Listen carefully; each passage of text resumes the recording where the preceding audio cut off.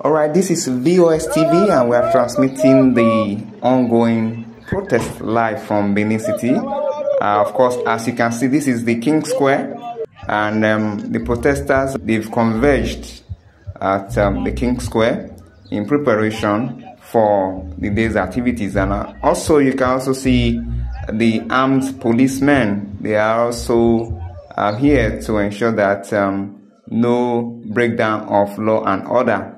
Just as you can also see too, of course, their petrol van, they are going around the town to ensure that the protesters conduct themselves in line with the law.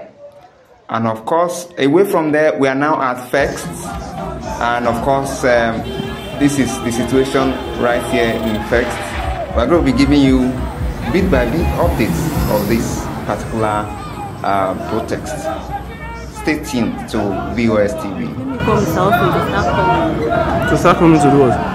They say they want to do like training. Don't worry.